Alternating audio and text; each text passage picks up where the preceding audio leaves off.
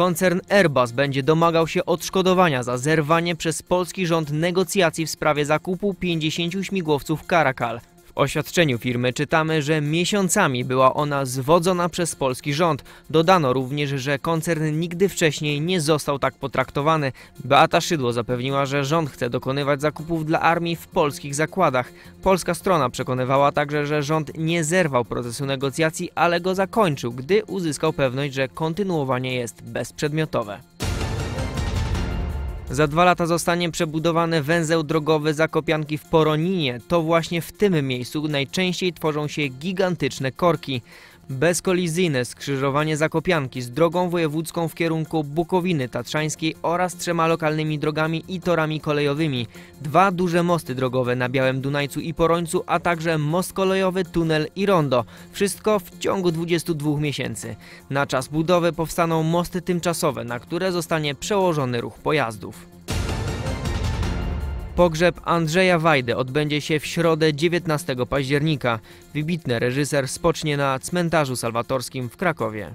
Zgodnie z wolą rodziny pogrzeb ma mieć charakter prywatny. O 14.30 w Bazylice Świętej Trójcy zostanie odprawiona msza pożegnalna w intencji zmarłego artysty. Wajda był jednym z najwybitniejszych polskich reżyserów, laureatem Oscara za całokształt twórczości z 2000 roku.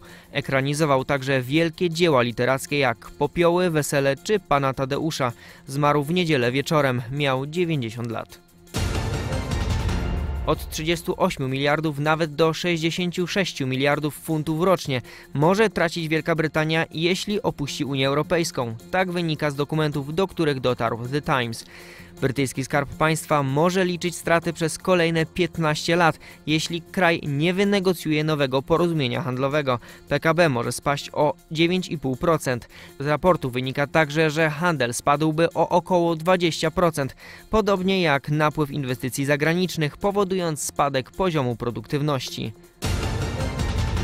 Stefan Antiga nie będzie dłużej trenerem reprezentacji polskich siatkarzy. Chętnych, by go zastąpić, nie brakuje.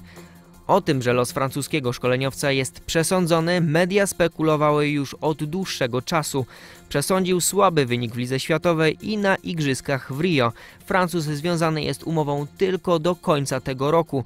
Wkrótce poznamy jego następcę. Chętny jest m.in. słynny włoski trener Andrea Gianni, obecnie selekcjoner kadry Słowenii.